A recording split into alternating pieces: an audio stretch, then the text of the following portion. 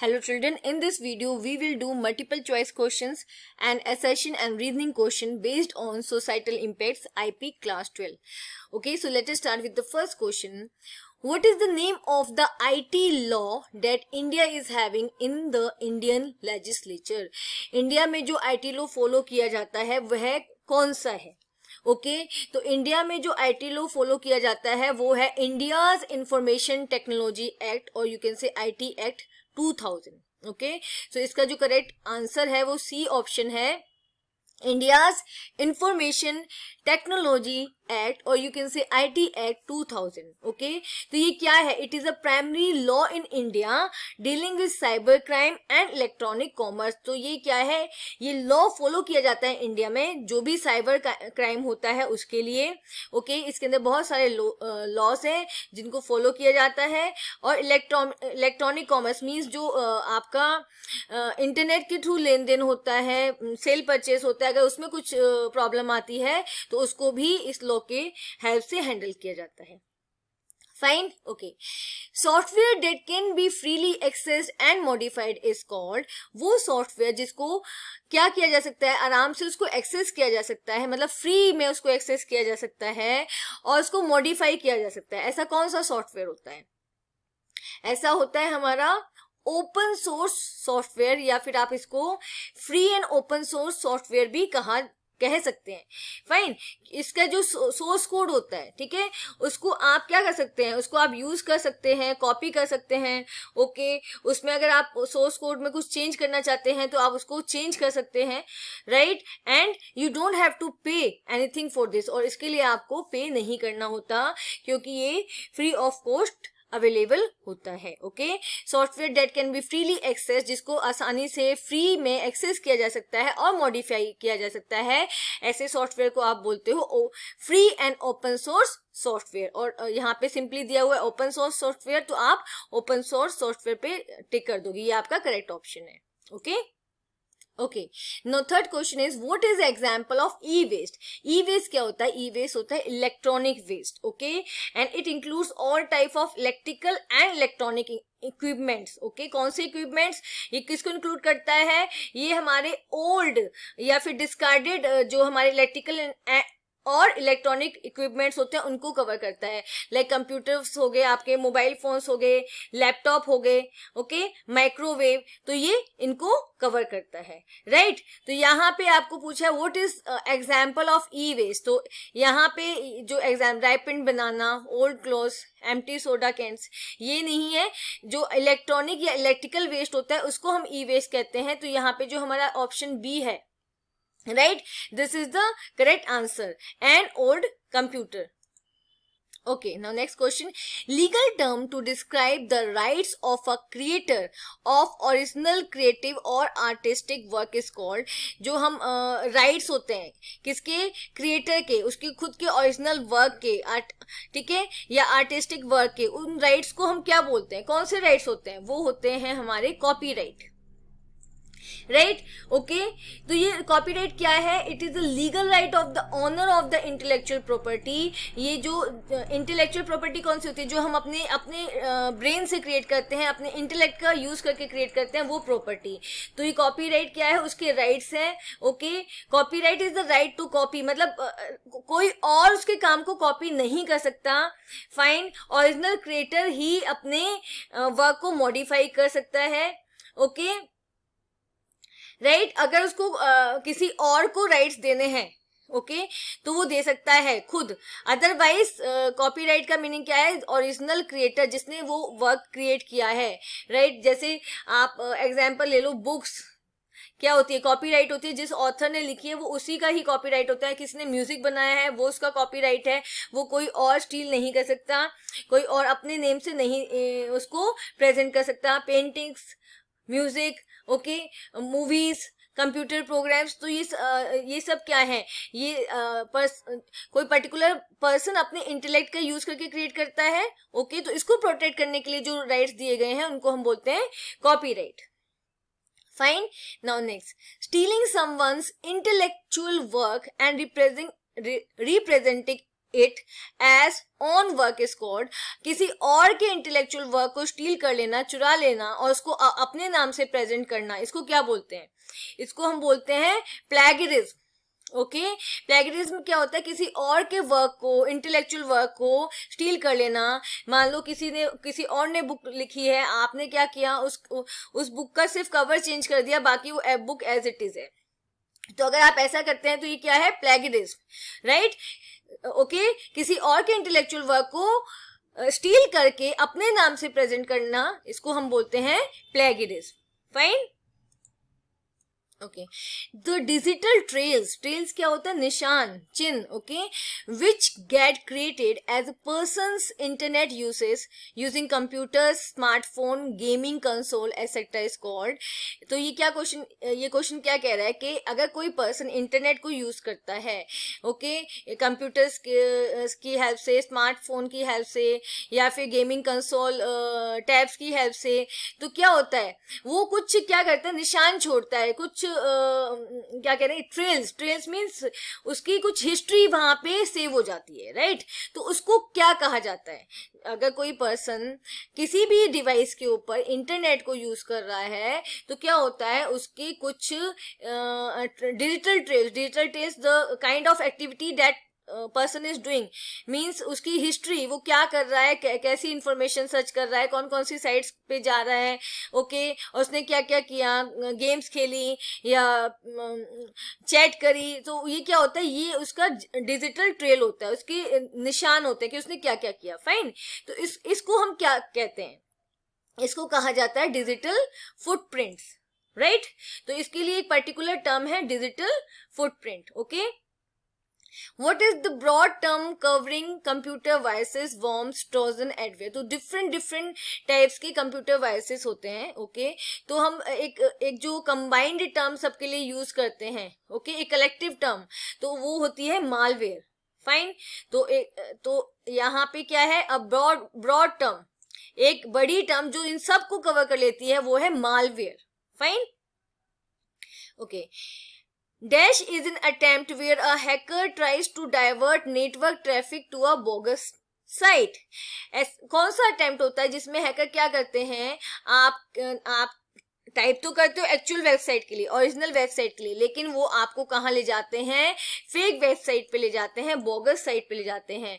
इस अटैक को हम बोलते हैं pharming attack right this is called as pharming attack pharming attack में क्या होता है? आप ओरिजिनल वेब एड्रेस टाइप करोगे किसी भी वेबसाइट का लेकिन क्या होगा आप आपको कहाँ पे ले जाएगा आ, जो नेटवर्क ट्रैफ़िक होता है वो आपको फेक वेबसाइट पे ले जाता है जो बिल्कुल रियल वेबसाइट जैसी ही होती है ओके okay? और जैसे ही once on the fake site hacker will either attempt to gain access to the financial information क्या करेंगे? अगर आप एक फेक वेबसाइट पे चले जाते हैं तो आपसे फाइनेंशियल इन्फॉर्मेशन लेने की कोशिश करेंगे या फिर आपके कंप्यूटर को इन्फेक्ट करने की कोशिश कर, करेंगे with the help of malware और मेलिशियस सॉफ्टवेयर राइट तो इस एक्टिविटी को क्या बोलते हैं? Pharming attack fine now we have IAD means. What is the full form of IAD right? तो IAD क्या होता है? IAD is internet addiction disorder option A right internet addiction disorder जब आप बार बार इंटरनेट यूज़ करते हो, आपको एंजाइटी होती है अपने मेल्स को चेक करने के लिए, या किसी मैसेज का वेट करते हो राइट right? आप बार बार अपडेट्स को चेक करते हो नोटिफिकेशंस को चेक करते हो तो ये क्या होता है? इंटरनेट एडिक्शन डिसऑर्डर होता है। इस, ये आप मतलब ये it may lead to anxiety ये आपके अंदर एंग्जाइटी क्रिएट करता है डिप्रेशन आप डिप्रेशन में जाते हो ओके लो सेल्फ एस्टीम मतलब आपका कॉन्फिडेंस लेवल अगर आप बहुत ज़्यादा इंटरनेट यूज़ करते हो तो आपका कॉन्फिडेंस लेवल जो होता है, वो क्या होता है? डिक्रीज होता है ओके स्लीप डिस्ट्रप्शन मीन्स आपको नींद आना कम हो जाता है तो क्या होता है?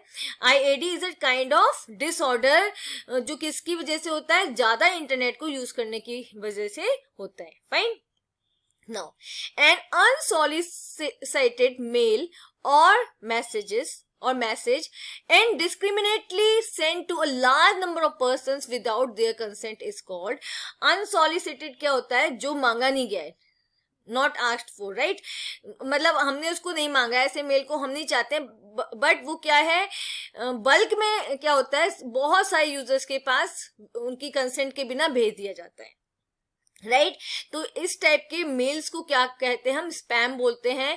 और आपने मोस्टली देखा होगा आपके स्पैम फोल्डर में आप चेक करो तो बहुत सारे मेल्स आते हैं।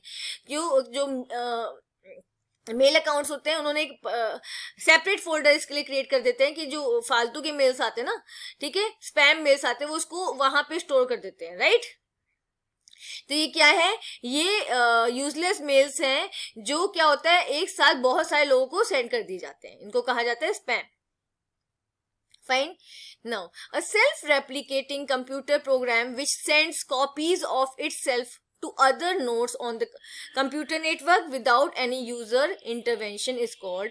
अब एक टाइप का कंप्यूटर वायरस होता है, जिसे हम क्या बोलते हैं? कंप्यूटर वॉर्म राइट अगर ये नेटवर्क के में है नेटवर्क में किसी कंप्यूटर पे है तो क्या होगा? ये अपनी मल्टीपल कॉपीज क्रिएट करता रहता है और नेटवर्क में डिफरेंट डिफरेंट कंप्यूटर्स पे सेंड करता रहता है। फाइन और अगर स्टैंड अलॉन कंप्यूटर है तो ये क्या करता है? इतनी कॉपीज क्रिएट करता है। स्टैंड अलॉन मतलब जो नेटवर्क से कनेक्टेड नहीं है। उस कंप्यूटर का ये पूरा का पूरा उसको उसको बिल्कुल ब्लॉक कर देता है इतनी स्पेस मेमोरी ब्लॉक कर देता है क्योंकि खुद की मल्टीपल कॉपीज क्रिएट करता रहता है ओके तो ऐसा वायरस जो मल्टीपल कॉपीज अपनी क्रिएट करता है फाइन उसको हम बोलते हैं कंप्यूटर वॉर्म और और you can say simply worm okay in terms of network security DoS is DOS is termed as जब हम नेटवर्क सिक्योरिटी की बात करते हैं, वहाँ पे एक टर्म आता है डॉस राइट right? इसका क्या मीनिंग है? इसका मीनिंग है denial of service right option B, denial of service. Denial of service क्या होता है? It is a kind of attack right right? ये क्या होता है? ये denial of service service means अगर आप कोई सर्विस एक्सेस करना चाहते हैं तो उस सर्विस को ब्लॉक कर दिया जाएगा okay by flooding the target with traffic मान लो आप कोई वेबसाइट एक्सेस करना चाहते हैं तो इतना ज़्यादा ट्रैफ़िक क्रिएट कर, दिया जाएगा कि वो वेबसाइट आप ओपन ही नहीं कर पाओगे। फाइन या फिर ऐसी इंफॉर्मेशन सेंड की जाएगी कि वो पर्टिकुलर वेबसाइट या पर्टिकुलर सोर्स जो आप एक्सेस करना चाहते हो वो क्या हो जाए क्रैश हो जाए। फाइन यहाँ पे इसका डॉस का क्या मतलब है? डेनियल ऑफ़ सर्विसेज़ मींस आप वो सर्विस अचीव कर ही नहीं पाओगे। ओके okay, इस अटैक की वजह से आप denial of service DoS attack की वजह से आप जो सर्विस एक्सेस करना चाहते हो वो सर्विस आप नहीं एक्सेस कर पाओगे। Fine now a dash is a program that protects website against bots bots क्या होते हैं? ये क्या है? शॉर्ट फॉर्म फॉर रोबोट ठीक है? रोबोट को हम बॉट्स बोलते हैं शॉर्ट फॉर्म में। By generating and grading test that humans can pass but current computer program can not okay? okay? तो क्या होता है? ये आइडेंटिफाई uh, करने के लिए कि एक पर्टिकुलर वेबसाइट को ह्यूमन बींग यूज़ कर रहे हैं या फिर ऑटोनोमस प्रोग्राम्स या रोबोट्स उसको यूज़ कर रहे हैं। हम किसका यूज़ करते हैं? हम यूज़ करते हैं कैप्चा ओके? कैप्चा का यूज़ करते हैं। कैप्चा क्या है? इट इज़ अ प्रोग्राम और आप कह लो एक प्रोग्राम है या सिस्टम है जो डिस्टिंग्विश करता है ह्यूमन को मोबाइल से राइट ह्यूमन बींग को ह्यूमन बींग को मशीन से, नॉट मोबाइल, ह्यूमन बींग को मशीन से डिस्टिंग्विश करता है। फाइन। फिर से देखो a dash is a program that protects तो capture is a program that protects website against bots by generating and grading test that human can pass तो ये कैप्चर क्या है? एक ऐसा प्रोग्राम है, ठीक है? या सिस्टम है, जो क्या करता है? ऐसे टेस्ट क्रिएट करता है जिसको ह्यूमन बींग्स तो पास कर सकते हैं, लेकिन अगर कोई कंप्यूटर उससे इंटरेक्ट कर रहा है वेबसाइट से, या रोबोट इंटरेक्ट कर रहा है वेबसाइट से तो वो उस टेस्ट को पास नहीं कर सकते। Okay okay? लाइक like, जैसे आपसे पूछा था click click in a specific area एक स्पेसिफिक एरिया में क्लिक करो तो ह्यूमन बींग तो समझ जाएगा रोबोट्स इसको नहीं समझ सकते। या फिर आपको कहा जा सकता है आइडेंटिफाई स्ट्रेच लेटर्स और नंबर्स लेटर्स और नंबर्स को स्ट्रेच करके लिख दिया जाए मतलब उनको लंबा करके या पुल करके लिख दिया जाए कि उनको आइडेंटिफाई करो। तो यहाँ पे क्या होगा मशीन इसको नहीं समझ पाएगी बट ह्यूमन बींग इसको समझ सकते हैं। Fine okay, out of the following, which one will be altered or modified by a computer virus? तो यहाँ पे अगर कंप्यूटर वायरस अटैक करते हैं तो क्या क्या ऑल्टर करेंगे या मॉडिफाई करेंगे? Operating system obviously operating system crash हो जाता है।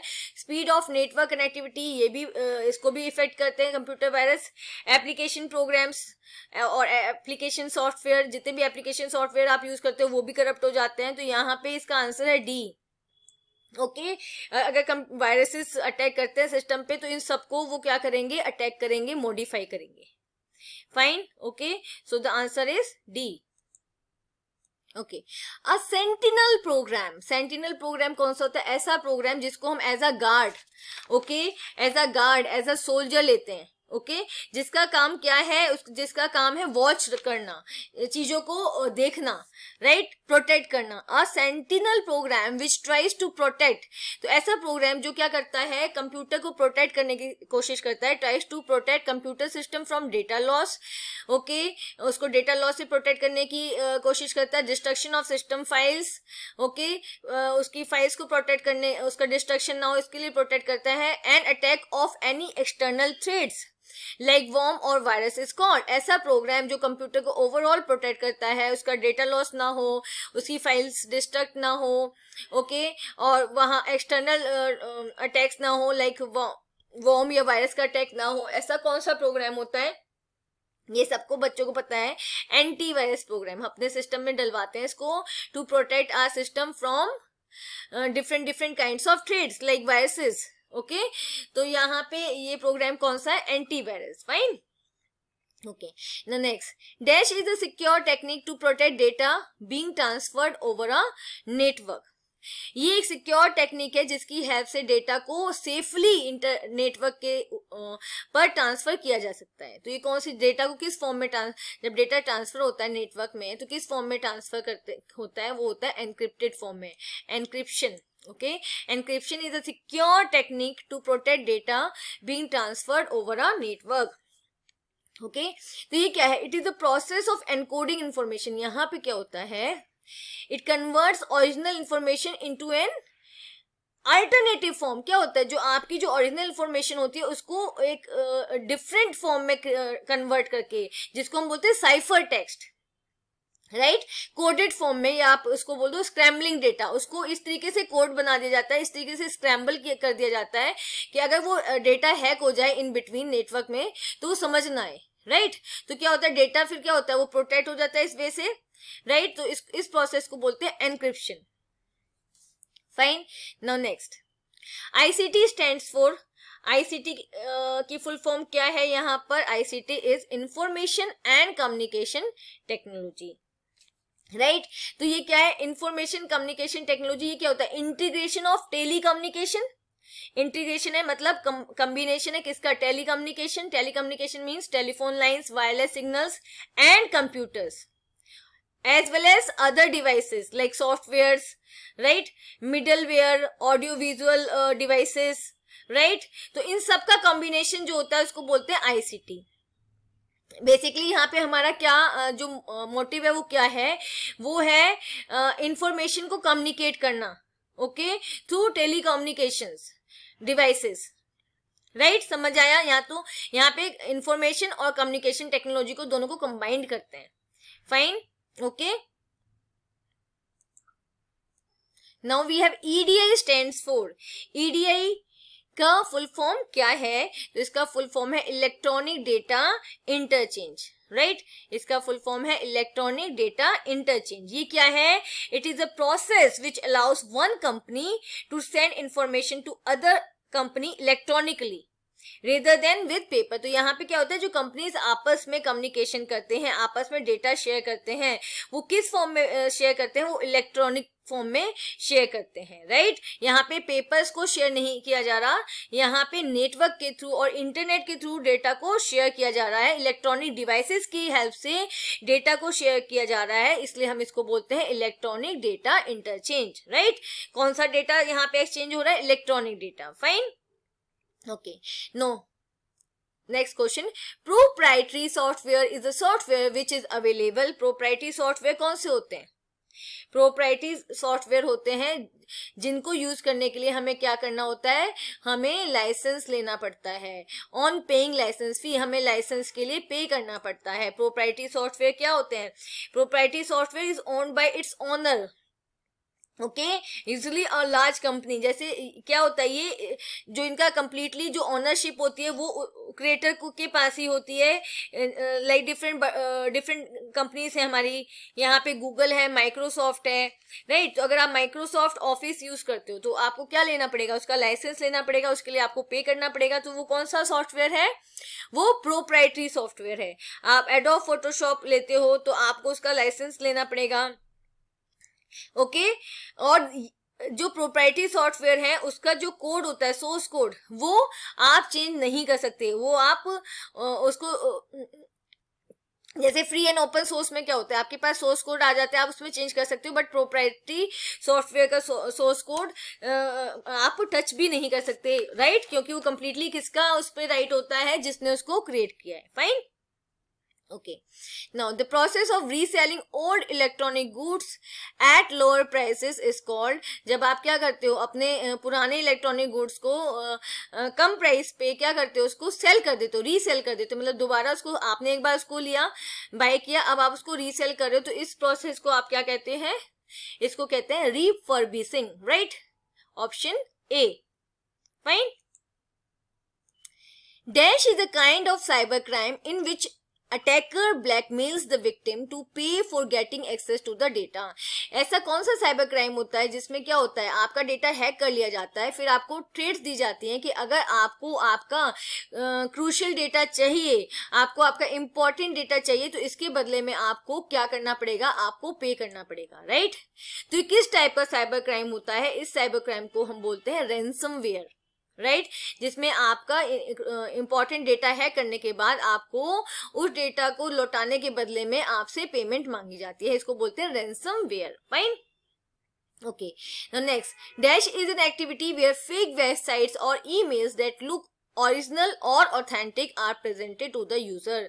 ऐसी कौन सी एक्टिविटी होती है जिसमें क्या होता है आप के सामने फेक वेबसाइट सेंड की जाती है या ईमेल सेंड किए जाते हैं जो आपको बिल्कुल लेजिटिमेट लगते हैं बिल्कुल रियल लगते हैं ओरिजिनल लगते हैं राइट ओके okay, बिल्कुल ऑथेंटिक लगते हैं। तो आप क्या करते समटाइम्स क्या होता है हम उन फेक वेबसाइट्स पे चले जाते हैं फेक ईमेल्स पे लिंक्स दिए होते हैं उन पर क्लिक कर देते हैं राइट तो उससे क्या होता है आपका सिस्टम हैक हो जाता है। फाइन तो इस एक्टिविटी को या इस प्रोसेस को क्या बोलते हैं? Phishing okay no next hackers try to break security system hackers क्या करते हैं? आपके सिक्योरिटी सिस्टम को ब्रेक करने की कोशिश करते हैं for identity identity theft means आपकी पर्सनल इंफॉर्मेशन को चुराने के लिए ओके okay? जैसे आइडेंटिटी थेफ्ट में क्या जैसे आपका फेसबुक अकाउंट हैक कर लिया फाइन तो क्या होगा अब वो आपका फेसबुक आपके नाम से रन करेंगे, आपका अकाउंट ओके okay? आपके अकाउंट से वो डिफरेंट लोगों को यूजलेस मैसेजेस सेंड कर सकते हैं तो यहाँ पे आइडेंटिटी तो आपकी है, लेकिन यूज़ कोई और कर रहा है तो इसको आइडेंटिटी थेफ्ट कहेंगे ओके फॉर मॉनेटरी गेन आपके सिस्टम को हैक करके आपकी जो उसमें इंफॉर्मेशन होती है लाइक आपकी बैंक अकाउंट की इंफॉर्मेशन है और और इंफॉर्मेशन है, वो आप, वो हैक करके उसका, उसको क्या कर सकते हैं यूज़ कर सकते हैं?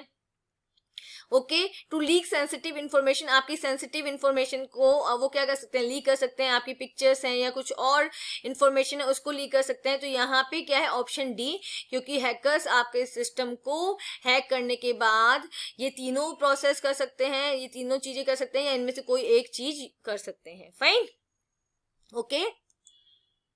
Okay hacking when done with a positive intent is called जब हम एक पॉजिटिव इंटेंट लेकर हैकिंग करते हैं, किसी, कोई सिस्टम हैक करते हैं तो इसे क्या बोलते हैं? इसे कहते हैं एथिकल हैकिंग मान लो क्या कर आप चाहते हो कि कुछ अनऑथोराइज एक्टिविटीज़ हो रही हैं ओके तो आपको जैसे पुलिस है, किसी का वो फ़ोन हैक करके या सिस्टम हैक करके वो क्या कर सकता है? वहाँ से डेटा लेते हैं, उसको एथिकल हैकिंग कहा जाता है, जहाँ पे क्या है, आपको जो अटैकर्स हैं राइट ओके उनको, उनके ही अटैकर्स मान लो अटैकर्स ने अटैक करके एक बड़े ऑर्गेनाइजेशन का को हैक कर लिया है। ठीक है गवर्नमेंट ऑर्गेनाइजेशन को हैक कर लिया है तो यहाँ पे एथिकल हैकर्स क्या करेंगे? उस उस हैक जो सिस्टम हैक हो चुका है, उसको दोबारा से अपने पास लाने के लिए क्या करेंगे? एथिकल हैकिंग का यूज़ करेंगे। अगेन उसको हैक करेंगे। तो यहाँ पे क्या एक पॉजिटिव इंटेंट है।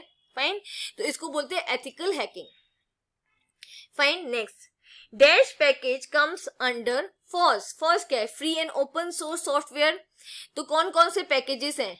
पैकेजेस क्या होते हैं? Collection of programs collection of software right तो यहाँ पे हमारा LibreOffice LibreOffice and OpenOffice ये जो आपने यूज़ किया होगा टेंथ क्लास में LibreOffice and OpenOffice दोनों ही कौन से हैं? फ्री एंड ओपन सोर्स हैं, हम इनको इंटरनेट से फ्री ऑफ़ कॉस्ट डाउनलोड कर सकते हैं और इनको इंस्टॉल कर सकते हैं। फाइन तो यहाँ पे आपका आंसर है सी बोथ ऑफ़ द अब right now dash is the unauthorised use और डिस्ट्रीब्यूशन ऑफ़ सॉफ्टवेयर क्या होता है?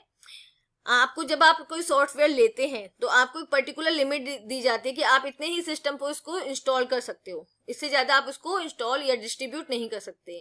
लेकिन अगर आप इसका बहुत ज़्यादा अनऑथोराइज यूज़ कर रहे हैं, बहुत सारे सिस्टम्स उसको इंस्टॉल कर रहे हो, उसको डिस्ट्रीब्यूट कर रहे हैं तो इसको क्या कहा जाता है? इसको कहा जाता है सॉफ्टवेयर पायरेसी फाइन जब आप एक ही सॉफ्टवेयर को बार बार बार बार डिफरेंट डिफरेंट डिवाइसेस पर क्या करते हैं? यूज़ करते हैं। यहाँ पे आप लाइसेंस एग्रीमेंट को फॉलो नहीं कर रहे हैं। तो इसको कहेंगे software piracy okay first and four first क्या है हमारा? Free and open source software option C, ठीक है? Free and open source software तो इसकी फुल फॉर्म क्या है? Free and open source software वो सॉफ्टवेयर जो आपको फ्रीली अवेलेबल होते हैं आपके लिए और आप उसके सोर्स कोड में भी चेंज कर सकते हो। फाइन नेक्स्ट हमारे पास क्या है? Dash operating system come under FOSS ऐसा कौन सा ऑपरेटिंग सिस्टम है जो फॉर्स के अंडर आता है? आप उसको फ्री ऑफ़ कॉस्ट उसको इंस्टॉल कर सकते हो, उसके सोर्स कोड में भी आप चेंज कर सकते हो। तो ऐसा सॉफ्टवेयर है हमारे पास।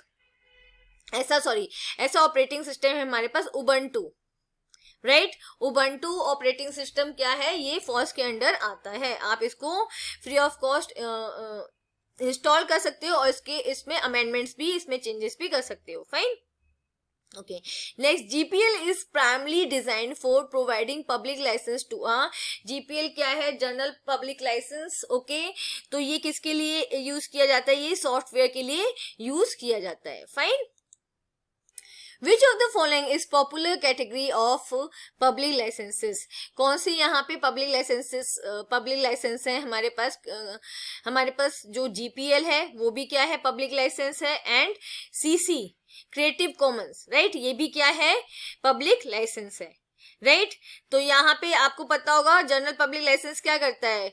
आप there is no limit to copying the code, आप इसके जनरल पब्लिक लाइसेंस के अंदर आप जो सॉफ्टवेयर का कोड होता है, उसको आप कॉपी कर सकते हो ओके और आप इसको डिस्ट्रीब्यूट भी कर सकते हो राइट right? और आप इसको इसको अगर जनरल पब्लिक लाइसेंस है तो आप सॉफ्टवेयर के कोड को कॉपी कर सकते हो, उसको डिस्ट्रीब्यूट कर सकते हो, और आप उसको सेल आउट भी कर सकते हो फाइन राइट ओके अब यहाँ पे जो क्रिएटिव कॉमन्स होता है, उसमें क्या होता है? आप क्या करना होता है? जब आप इसको यूज़ कर रहे होते हैं तो आपको इसके ऑथर को भी, इसके ऑथर को एक्नोलेज करना होता है राइट इसके ऑथर को आपको आइडेंटिफिकेशन देनी होती है।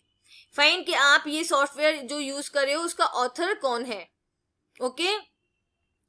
आप इसके सोर्स कोड को भी मॉडिफाई कर सकते हो डिस्ट्रीब्यूट कर सकते हो ओके okay? और कॉपी uh, कर सकते हो बट यहाँ पे आपको क्या करना होता है यहाँ पे आपको ऑथर को आइडेंटिफिकेशन देना होता है okay okay? Okay now next GPL stand for तो यहाँ पे जो इसका आंसर था पहले हम इसको थर्टी जो थर्टी नंबर क्वेश्चन था इसमें बोथ ऑफ़ द अबव आएगा ठीक है क्योंकि यहाँ पे दोनों क्या है पब्लिक लाइसेंस है fine now next thirty first GPL stand for तो इसकी फुल फॉर्म क्या है? General public licence option A fine then CC in reference to public licence stand for CC क्या है आपका? क्रिएटिव कॉमन्स ओके तो general public licence में क्या है? सॉफ्टवेयर को आप उसके सोर्स कोड को यूज़ कर सकते हो राइट right? उसको रीडिस्ट्रीब्यूट कर सकते हो, उसको सेल भी कर सकते हो। क्रिएटिव कॉमन्स में क्या है? आप उसको यूज़ कर सकते हो सॉफ्टवेयर को मॉडिफाई कर सकते हो, लेकिन आपको यहाँ पे उसके रियल ऑथर्स को एक्नोलेजमेंट देनी होगी राइट right? उसके बाद ही आप उसको यूज़ कर सकते हो या उसमें कोई भी मॉडिफिकेशन कर सकते हो। Fine Now, dash means unauthorized use of others trademark on products and services. तो यहाँ पे क्या पूछा है? क्या होता है जहाँ जब आप किसी और के ट्रेडमार्क का यूज़ करते हो अनऑथोराइज यूज़ करते हो ट्रेडमार्क क्या है? ट्रेडमार्क कोई भी visual symbol word name design logo ठीक है? जो आप अपने अपने पर्टिकुलर ब्रांड पे लगाते हो अपने प्रोडक्ट पे लगाते हो उसको बोलते हैं ट्रेडमार्क राइट right? जब उसको कोई और यूज़ करता है उसका अनऑथोराइज यूज़ होता है राइट right? तो अब इस, इसको इस प्रोसेस को क्या बोलते हैं इसको बोलते हैं हम ट्रेडमार्क इन्फ्रिजमेंट राइट तो option B trademark infringement means unauthorise use of others trademark on products and services fine Okay, next question. A dash is a type of contract between the creator of an original work permitting someone to use their work generally for some price. तो यहाँ पे क्या होता है? एक contract जो किसके बीच में होता है? क्रिएटर जिसने उस काम को बनाया है ओरिजिनल वर्क का क्रिएटर और ज, आ, वो दूस, जब दूसरे लोगों को वो यूज़ करने के लिए देता है राइट परमिट करता है और उसके बदले में कुछ पैसे लेता है तो इस प्रोसेस को क्या बोलते हैं? किस बेसिस पे वो उसको यूज़ करने देगा? ओके ऑन तो इसको हम बोलते हैं लाइसेंस देना। Right right? अगर कोई क्रिएटर अपने वर्क के लिए लाइसेंस देता है कि आपको इसको यूज़ करने के लिए इतना अमाउंट पे करना पड़ेगा ये लिमिट है और कैसे आपको यूज़ करना है जो भी ऑल ओवर जो भी उसकी जो लिमिटेशंस uh, होती हैं जो वो किसके अंडर आती है? लाइसेंस के अंदर आती है। Fine a licence is a type of contract between the creator of an original work permitting someone to use their work right generally for some price okay Now, dash includes any visual symbol, word, name, design, slogan, label, etc. that distinguishes the brand from other brands. ये मैंने अभी बताया ऐसा कोई भी symbol word नाम design slogan logo या label जो आपके ब्रांड को दूसरे ब्रांड से अलग करता है उसको हम क्या बोलते हैं उसको हम बोलते हैं ट्रेडमार्क फाइन तो डिफरेंट डिफरेंट कंपनीज़ के अलग अलग ट्रेडमार्क्स होते हैं डिफरेंट डिफरेंट प्रोडक्ट्स के अलग अलग ट्रेडमार्क्स होते हैं। फाइन इसको बोलते हैं trademark EULA E U L A stand for तो इसको बोलते हैं हम ई यू एल ए और you can say EULA stand for end user licence agreement right? right? ये क्या है? एंड यूज़र लाइसेंस एग्रीमेंट है जो क्या कवर करता है? ये सारी क्लॉसेस को कवर करता है जब आप सॉफ्टवेयर परचेज करते हो जो जो उसको बाय कर रहा है यूज़र ओके okay? वो क्या क्या कर सकता है? How many copies can be install वो कितनी कॉपीज सॉफ्टवेयर की इंस्टॉल कर सकता है ओके okay? वो सोर्स कोड को चेंज कर सकता है मॉडिफाई कर सकता है कि नहीं कर सकता है? वो इस uh, को रीडिस्ट्रीब्यूट कर सकता है या नहीं कर सकता है? तो ये क्या होता है? ये सारे के सारे किसके अंडर आते हैं? एंड यूज़र लाइसेंस एग्रीमेंट के अंडर ये आता है। Fine okay okay? तो यूला क्या है? यूला है end user licence agreement okay next question same ही है। Dash covers all the clauses of the software purchases वो एग्रीमेंट जो सारे के सारे क्लॉजेस को सॉफ्टवेयर परचेज के क्लॉजेस को कवर करता है। How many copies can be installed कितनी कॉपीज इंस्टॉल की जा सकती हैं पर्टिकुलर सॉफ्टवेयर की? वेदर सोर्स इज़ अवेलेबल इसका सोर्स आप के लिए अवेलेबल है या नहीं है? Whether it can be modified and redistributed क्या इसको मॉडिफाई किया जा सकता है या नहीं? इसको रीडिस्ट्रीब्यूट किया जा सकता है नहीं?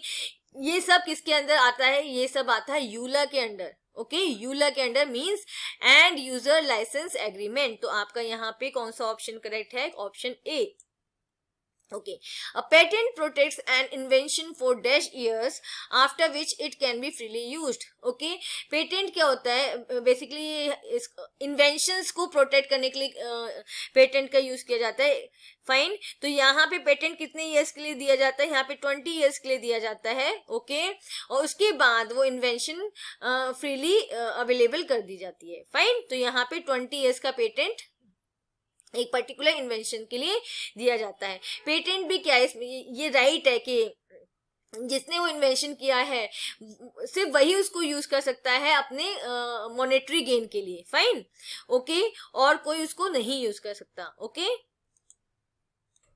okay.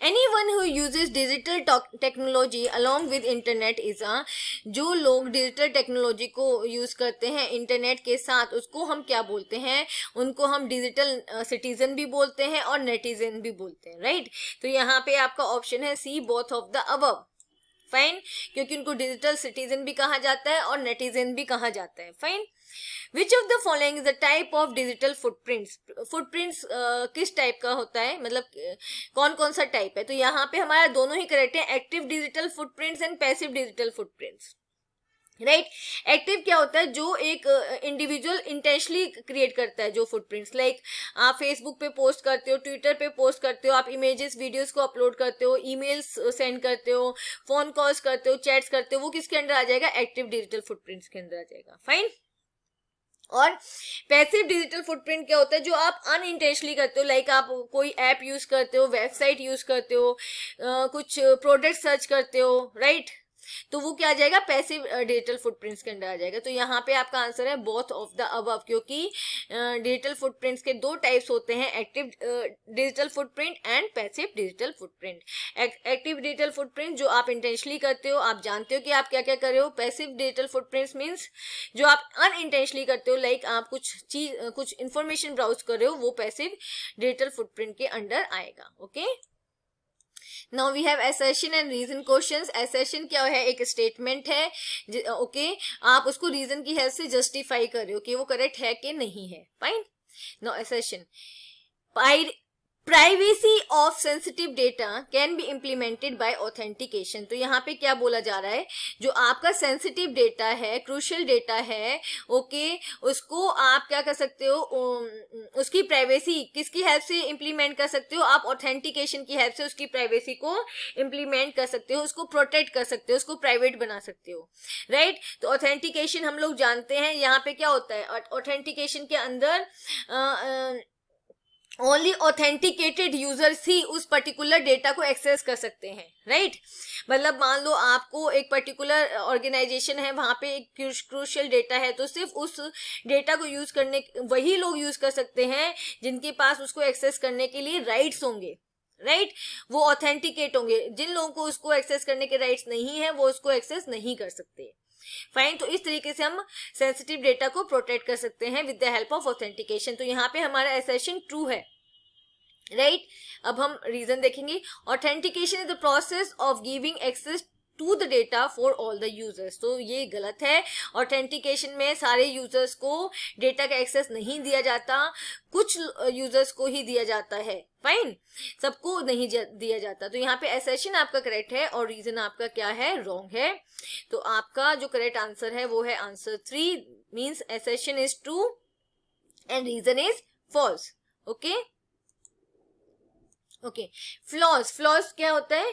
Free libre and open source software FOSS भी बोलते हैं आप इसको। यहाँ पे एल हमने लगा दिया तो लिब्रे है लिब्रे ऑफ़िस के लिए। Free libre open source software is open source yes ये क्या है? ओपन सोर्स सॉफ्टवेयर है। फाइन एसेशन आपका ट्रू है। Then FLOSS source code is available for free of cost ये ओपन सोर्स सॉफ्टवेयर तो इसका सोर्स कोड भी आप अवेलेबल होता है फ्री ऑफ़ कॉस्ट राइट तो यहाँ पे हमारा एसेशन और रीजन दोनों ट्रू है। फाइन तो आपका यहाँ पे ऑप्शन जो करेक्ट है, वो है A both assertion and reason are true and reason is the correct explanation of A fine okay. Now the assertion is permission given to use a product by the copyright holder is license जो permission दी जाती है copyright holder के द्वारा जो copyright holder permission देता है एक पर्टिकुलर अपने प्रोडक्ट को यूज़ करने के लिए उसको लाइसेंस कहा जाता है। ओके okay, ये करेक्ट है। जब आप लाइसेंस लेते हो तभी आप प्रोडक्ट को यूज़ कर सकते हो। तो एसेशन हमारा क्या है? ट्रू है। Right now reason one should not use the copyrighted product without taking licence किसी को भी कॉपीराइट प्रोडक्ट को यूज़ नहीं करना चाहिए बिना लाइसेंस लिए। ओके okay, अदरवाइज़ वो क्या हो जाता है? पायरेसी हो जाती है। Software software piracy different different types of piracy we have here okay तो यहाँ पे क्या है? हमारा एसर्शन भी ट्रू है और रीजन भी ट्रू है। तो आपका ऑप्शन ए करेक्ट है। Both assertion and reason are true and reason is the correct explanation of assertion. Fine Okay, now we have the assertion intellectual property refers to the invention. Intellectual property में क्या क्या आता है Intellectual property जो आपने खुद से create किया है आपने अपने brain का use करके आपने अपने intellect का use करके जो property uh, create किया है उसमें क्या आएगा आपके inventions आते हैं आपका literary work आता है आपका artistic uh, work आता है design symbols names logos right तो ये सब आपका क्या है intellectual property है फाइन नाउ रीजन क्या है? Intellectual property is legally protected through copyright जो आपकी इंटेलेक्चुअल प्रॉपर्टी होती है, वो कॉपीराइट्स की हेल्प से उसको प्रोटेक्ट किया जाता है। फाइन तो यहाँ पे इसका आंसर क्या है? इसका आंसर है, आपका सेशन भी करेक्ट है रीजन भी करेक्ट है। लेकिन ये एक दूसरे को क्या करते हैं? जो रीजन है वो एसेशन का को जस्टिफाई नहीं करता है। यहाँ पे मतलब उसका करेक्ट एक्सप्लेनेशन नहीं है। वो बता रहा है कि इंटेलेक्चुअल प्रॉपर्टी क्या होता है और सेकंड में हम बता रहे हैं कि उसको कैसे प्रोटेक्ट किया जा सकता है। कॉपीराइट से। ट्रू दोनों है। एसेशन भी है ट्रू और रीजन भी ट्रू है। लेकिन वो एक दूसरे से रिलेटेड नहीं है। तो यहाँ पे हम ऑप्शन जो हमारा करेक्ट करेंगे टू मतलब assertion and reason both are true okay but reason is not the correct explanation of A fine okay now assertion is the violation of intellectual property right is called intellectual property right infringement okay जब आप intellectual property right का को violate करते हो तो उसको बोलते हैं intellectual property right infringement right जब आप किसी के intellectual property uh, को क्या करते हो उसको steal करते हो right तो यहाँ पे उस और उसको अपने नेम से प्रेजेंट करते हो तो यहाँ पे आईपीआर इन्फ्रिंजमेंट उसको कहा जाता है फाइन नाउ रीजन क्या है? Plagiarism is the form of IPR infringement तो प्लेगरिज्म क्या है? Plagiarism IPR infringement is a type of IPR infringement plagiarism में क्या होता है? सेम आप इंटेलेक्चुअल प्रॉपर्टी किसी की इंटेलेक्चुअल प्रॉपर्टी को स्टील करके उसको अपने नाम से प्रेजेंट करते हो तो उसको प्लेगरिज्म कहा जाता है। फाइन तो यहाँ पे आपका एसेशन भी ट्रू है। Fine okay violation of intellectual property rights is called IPR infringement right intellectual property right को का वायलेशन करना आईपीआर इन्फ्रिजमेंट कहा जाता है और प्लेगरिज्म क्या है? It is a kind of IPR infringement means plagiarism क्या में क्या होता है? आप दूसरे की इंटेलेक्चुअल प्रॉपर्टी को स्टील uh, करके अपने नाम से प्रेजेंट करते हो। फाइन तो ये भी क्या है? आईपीआर इन्फ्रिजमेंट है।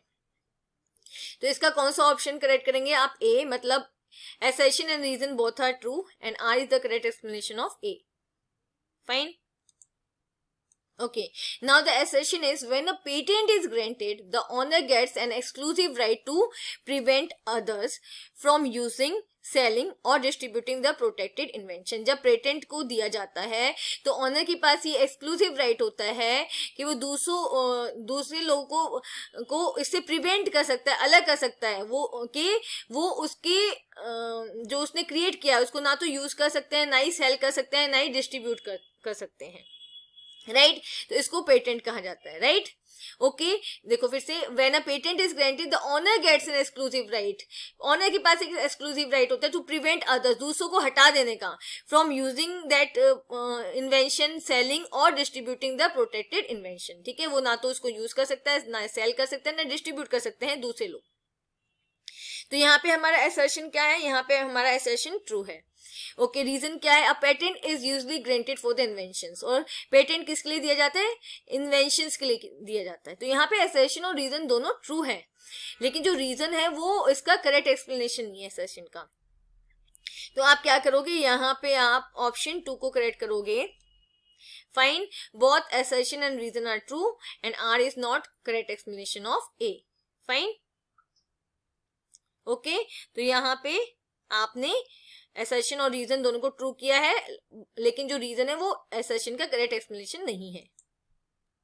Okay, now the assertion is, the act of presenting someone else work or idea as your own is plagiarism किसी और के वर्क को और किसी और के आइडिया को अपने नाम से प्रेजेंट करना प्लेगरिज्म कहलाता है। फाइन तो ये आपका एसेशन करेक्ट है। Right? अब रीजन क्या है? Accessing someone's information without their permission is plagiarism तो यहाँ पे क्या कह रहा है? किसी और के इंफॉर्मेशन को, उनकी परमिशन के बिना एक्सेस करना प्लेगरिज्म है। प्लेगरिज्म क्या है? सिंपल एक्सेस करना नहीं है। जब आप किसी और के वर्क को एक्सेस करते हो और उसको अपने नाम से प्रेजेंट करते हो, तब वो प्लेगरिज्म होता है। फाइन तो यहाँ पे एसेशन तो करेक्ट है। बट रीजन करेक्ट नहीं है। तो आप कौन सा ऑप्शन चूज़ करोगे? आप ऑप्शन सी चूज़ करोगे means assertion is true but reason is false okay okay assertion is trademark generally protect logos names and brands brands trademark क्या क्या प्रोटेक्ट करता है? आपके लोगोस को नेम्स को ब्रांड्स को, इन सबको प्रोटेक्ट करने के लिए ट्रेडमार्क यूज़ किया जाता है। फाइन तो एसेशन आपका क्या है? ट्रू है। नाउ रीजन क्या है? हमारा plagiarism is unethical because it is a form of theft plagiarism क्या होता है? अनएथिकल होता है ओके इलीगल uh, होता है क्योंकि ये क्या है? It is a kind of theft ये एक तरह की चोरी है ओके okay? तो आपका रीजन भी करेक्ट है। लेकिन क्या है? एसेशन और रीजन दोनों एक दूसरे से रिलेटेड नहीं है। करेक्ट दोनों एसेशन भी करेक्ट है और रीजन भी करेक्ट है। लेकिन ये एक दूसरे से रिलेटेड नहीं है तो आप ऑप्शन बी को चूज़ करोगे। Both assertion and reason are true but R is not the correct explanation of A fine okay now the assertion is privacy of sensitive data can be implemented by encryption आप sensitive data की privacy को implement कर सकते हो। किसकी help से? Encryption की help से। एनक्रिप्शन की हेल्प से मीन्स आप उस जो आपका सेंसिटिव डेटा है, उसको जब नेटवर्क के थ्रू आप ट्रांसफ़र करोगे तो एनक्रिप्टेड फॉर्म में करोगे। एनकोडेड फॉर्म में मीन्स एक स्कैम्बल्ड फॉर्म में जो कोई भी नहीं समझ सकता। और you can say coded form में। फाइन तो एसेशन आपका ट्रू है। Now reason encryption hides and course details of the actual data encryption क्या करता है? जो एक्चुअल डेटा होता है, उसकी डिटेल्स को हाइड कर देता है एनकोड कर देता है। फाइन तो यहाँ पे रीजन भी ट्रू है। तो रीजन क्या है? एसर्शन को जस्टिफाई करता है। तो आपका ऑप्शन ए करेक्ट है। Both assertion and reason are true and reason is the correct explanation of a. Fine? Okay, assertion is Apple symbol in iOS software will come under a registered trademark. Trademark uh, right तो Apple का जो symbol होता है वो किसके under आता है? Registered trademark के अंडर आता है। मतलब वो एप्पल की कंपनी का ट्रेडमार्क है उसे कोई और यूज़ नहीं कर सकता। वो एक रजिस्टर्ड ट्रेडमार्क है। फाइन तो एसेशन आपका ट्रू है। Okay okay? अब रीजन क्या है? Trademark includes any visual symbol trademark के अंदर क्या क्या आता है? कोई भी विजुअल सिंबल वर्ड मतलब कुछ भी वर्ड नेम कोई भी design slogan label etcetera that distinguish the brand जो क्या करता है? ब्रांड को या कमर्शियल एंटरप्राइज को एक दूसरे ब्रांड से दूसरे कमर्शियल एंटरप्राइज से अलग करता है। फाइन तो यहाँ पे हमारा एसेशन भी ट्रू है रीजन भी ट्रू है, और जो रीजन है, वो एसेशन को जस्टिफाई भी कर रहा है। तो आप कौन सा ऑप्शन चूज़ करोगे? A both assertion and reason are true and reason is the correct explanation of assertion fine okay okay, children, now we will meet in next video with next topic. All the best for your exams. Subscribe my channel for more useful videos.